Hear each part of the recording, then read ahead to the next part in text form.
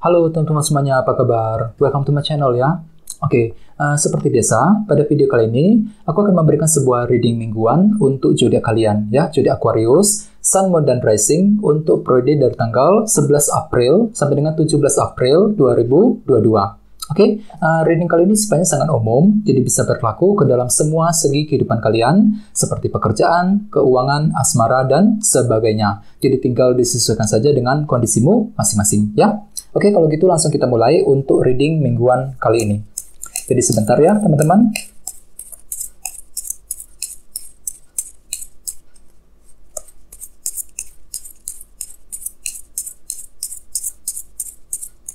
Oke.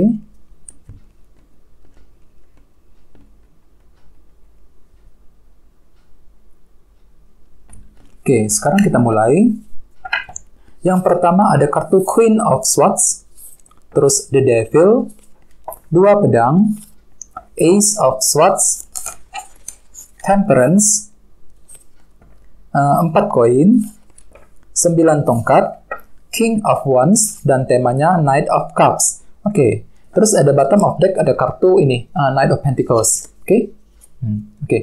uh, Knight of Pentacles, ya. Oke, okay. uh, oh ya teman-teman, kalau bisa simak terus videonya sampai selesai, soalnya di akhir video nanti kita akan bahas lagi lebih mendalam ya bagaimana kisah asmaramu untuk minggu ini.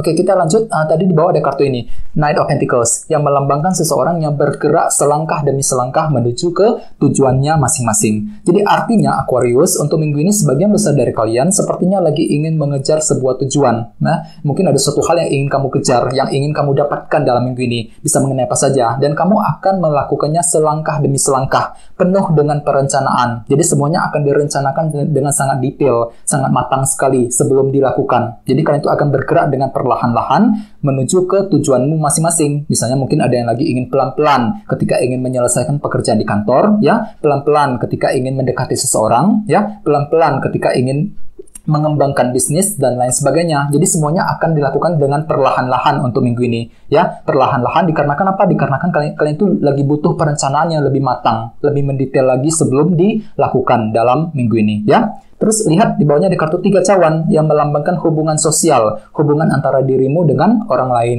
Jadi artinya Aquarius uh, untuk minggu ini sepertinya kalian tuh lagi ingin berdiskusi, membahas suatu hal yang penting dengan dengan seseorang, bisa dengan siapa saja, ya dengan orang-orang yang terdekat denganmu. Dengan tujuan apa? Mungkin di, dikarenakan kalian tuh lagi butuh bantuan, dukungan ataupun sekedar pendapat dari orang tersebut. Ya, dikarenakan kalian tuh lagi ingin mengejar sebuah tujuan nih, Knight of Pentacles. Mungkin ada suatu hal yang tidak kamu ketahui, ya, yang yang belum jelas uh, kelihatan. Jadi kalian tuh lagi butuh pendapat ataupun dukungan dari mereka dengan tujuan untuk memperlancar, ya, uh, langkahmu ketika ingin mendapatkan tujuan tersebut dengan kombinasi kedua kartu ini, ya. Oke, okay? terus uh, di bawahnya ada kartu 10 tongkat dan 6 koin. Jadi artinya Aquarius, beberapa dari kalian akhir-akhir ini sepertinya lagi mencari dukungan juga loh dengan kartu 6 koin ini. Akan tetapi sepertinya kalian itu lagi merasa, uh, merasa berat sekali, teman-teman. Uh, 10 tongkat. Mungkin dikarenakan ada sesuatu hal ya, tekanan batin yang sudah terjadi akhir-akhir ini, dan kalian itu lagi merasa berat sekali ketika ingin melangkah maju ke depan. 10 tongkat. Mungkin ada tekanan besar dalam keluarga, tekanan dalam hubungan cinta, bisa juga mungkin tekanan dalam karir, dan sebagainya. Jadi ada semacam tekanan berat yang sudah terjadi selama ini, teman-teman. Aku lihat di sini. Uh, 10 tongkat. Sehingga kalian itu lagi butuh butuh banget ya bantuan, dukungan dari orang lain mungkin dengan tujuan untuk menyelesaikan tekanan berat tersebut. Ini sudah uh, kalian alami Aquarius akhir-akhir ini, ya. Jadi memang perlu untuk selalu bersabar. Oke, okay? jadi intinya dengan kartu Knight of Pentacles untuk minggu ini sepertinya kalian itu lagi ingin bergerak dengan pelan-pelan ya menuju ke tujuanmu masing-masing. Oke, okay? oke. Okay, uh, terus tema untuk bintang Aquarius dalam minggu ini adalah kartu Knight of Cups. Oke, okay, kartu Knight of Cups pada dasarnya melambangkan seseorang yang ingin bergerak menuju tujuannya sendiri dengan cara bagaimana? Dengan cara mendengarkan feelingnya sendiri, intuisinya sendiri. Ya, mungkin agak ber sedikit berbeda dengan kartu Knight of Pentacles. Uh, kalau yang ini um, bergerak menuju tujuan dengan pelan-pelan, dengan uh, direncanakan terlebih dahulu. Kalau yang Knight of Cups bergerak menuju tujuan dengan mendengarkan feelingnya, intuisinya terlebih dahulu. Jadi artinya memang untuk minggu ini secara umum ya Aquarius bisa dikatakan kalian itu akan belajar menggunakan feeling intuisimu dengan sangat tepat sekali, dengan sangat baik ketika ingin bergerak maju, ketika ingin berbuat satu hal ataupun ketika ingin mengambil keputusan yang penting ya. Jadi bagi kalian yang ingin melakukan satu hal yang penting untuk minggu ini uh, sangat disarankan ya untuk terlebih dahulu mendengarkan feelingmu sendiri teman-teman. Jangan terburu-buru apalagi dengan kartu Knight of Pentacles tadi di sini. Kalian itu lagi butuh perencanaan yang sangat matang loh teman-teman ya. Jadi kalau bisa direncanakan dengan detail dan matang terlebih dahulu sebelum dilakukan untuk menghindari kegagalan di masa-masa yang akan datang ya dengan kombinasi kedua kartu ini. Jadi untuk minggu ini sepertinya kalian tuh ingin mendengarkan uh, intuisimu terlebih dahulu ketika ingin melangkah maju ke depan. Jadi memang cukup bagus energinya ya. Oke, okay, uh, sekarang kita lanjut uh, untuk reading kali ini. Readingnya akan dibagi menjadi dua bagian untuk awal minggu dan di akhir minggu. Kita mulai dari awal minggu. Yang pertama ada kartu Queen of Swords dan The Devil. Jadi mungkin ada yang lagi berhubungan dengan bintang Libra, Gemini, Aquarius, atau bisa juga dengan bintang Capricorn. Ya, oke. Okay. Jadi ceritanya uh, Aquarius di awal minggu, sebagian besar dari kalian mungkin akan um, mulai menggunakan kecerdasan yang kamu miliki Queen of Swords ya mampu berpikir dengan sangat cerdas, sangat pintar ketika ingin uh, mencapai tujuanmu, ketika ingin menyelesaikan masalah tentunya, apalagi di sampingnya ada kartu The Devil. Jadi artinya beberapa dari kalian mungkin akhir-akhir ini baru saja melewati sebuah krisis, ya sebuah situasi yang serba sulit sekali. Ini bisa mengenai apa saja? Misalnya mungkin situasi sulit dalam keluarga, dalam percintaan, ataupun dalam karir ya. Jadi ada hal-hal tertentu yang membuat dirimu itu sangat sulit sekali. Ada kondisi yang sangat rumit yang telah kamu lalui Aquarius akhir-akhir ini. Dan sepertinya masalah tersebut masih terbawa energinya ke awal minggu. Jadi hati-hati teman-teman ya. Di sini kalian tuh akan mulai menggunakan kecerdasan yang kamu miliki, Queen of Swords, untuk menyelesaikan masalah rumit tersebut di awal minggu nanti ya. Sesuai dengan tema utamamu, kartunya Knight of Cups. Jadi ceritanya di awal minggu, kalian tuh akan mulai mendengarkan feelingmu sendiri, intuisimu dengan sangat baik ketika ingin menyelesaikan masalah tertentu, ya, dengan kombinasi kedua uh, kartu ini di awal minggu, ya. Oke? Okay?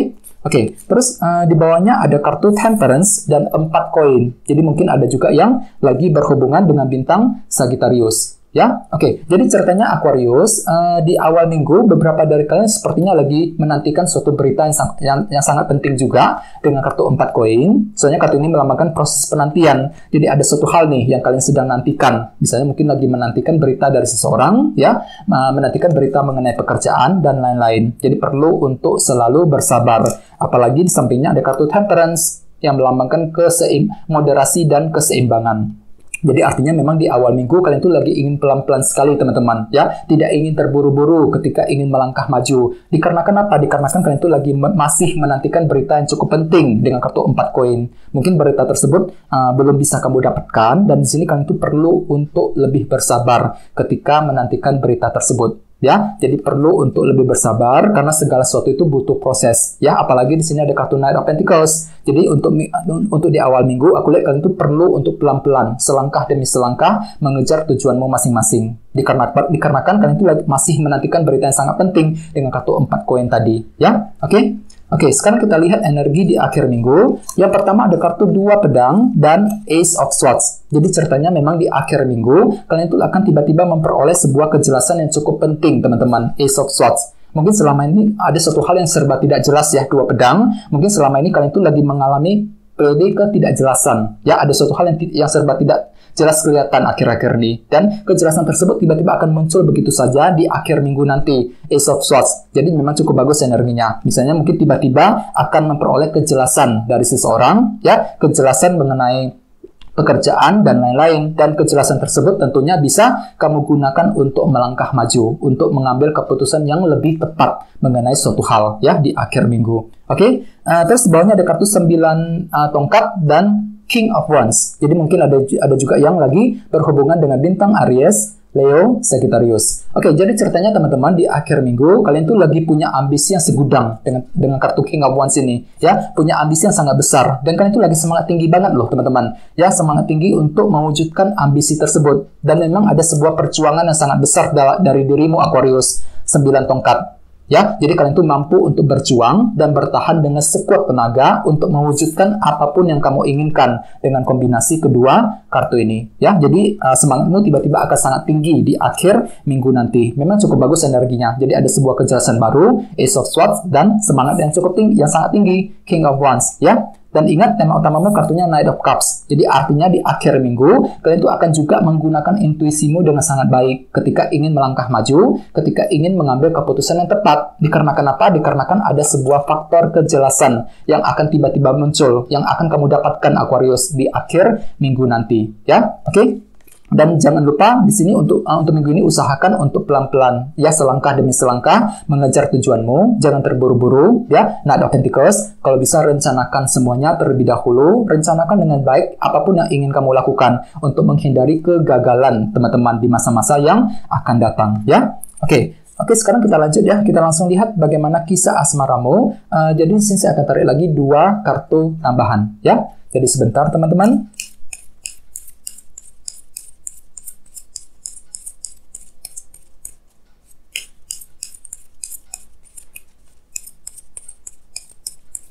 Oke. Oke, yang pertama ada kartu ini Justice dan satunya lagi ini Knight of Swords.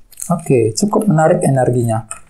Jadi mungkin ada ada yang lagi berhubungan dengan bintang Libra di sini ya, Justice. Oke. Oke, jadi untuk segi percintaan, Aquarius, aku lihat memang untuk minggu ini, sebagian besar dari kalian sepertinya tiba-tiba akan mendapatkan sebuah kejelasan yang penting dalam hubungan cinta, justice. Ya, ini berlaku untuk yang lagi single dan couple. Soalnya di sini juga ada kartu Ace of Swords loh di akhir minggu. Jadi ada sebuah kejelasan yang akan muncul begitu saja di akhir minggu nanti. Jadi memang untuk minggu ini ada kejelasan dalam hubungan cinta, ya. Jadi uh, misalnya bagi yang lagi single untuk minggu ini tiba-tiba kalian tuh akan bisa melihat dengan sangat jelas kira-kira orang tersebut sebenarnya suka sama kamu apa enggak jadi kejelasan akan datang begitu saja dan uh, kejelasan tersebut bisa kamu gunakan untuk meng uh, untuk mengambil keputusan yang lebih yang lebih tepat dalam hubungan cinta. Jadi uh, semuanya akan terlihat dengan sangat jelas uh, Aquarius untuk minggu ini. Justice ya, keadilan dan kejelasan akan kamu dapatkan, kejelasan dalam hubungan cinta ya. Jadi kamu itu bisa memahami dengan sangat jelas kira-kira dia itu sebenarnya um, uh, sebenarnya bisa memberikan kepastian kepada dirimu apa enggak bagi yang lagi single ya.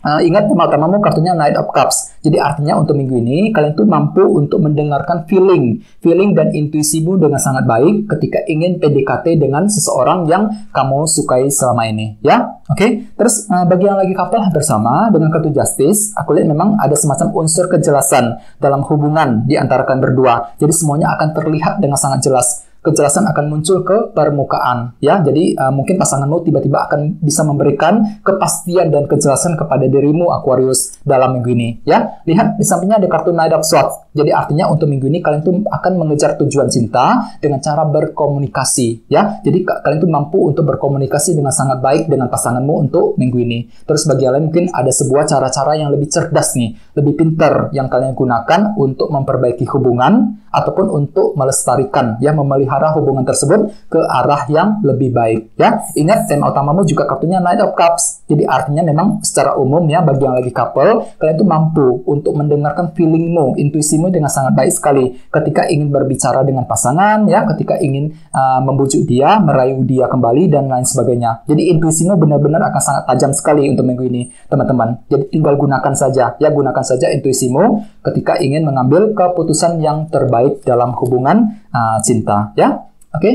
Oke teman-teman, kayak segitu dulu untuk readingnya. Semoga readingnya bermanfaat ya. Oke, uh, jika kalian suka dengan video ini, jangan lupa untuk subscribe dan sampai jumpa di video berikutnya. Terima kasih. Bye bye.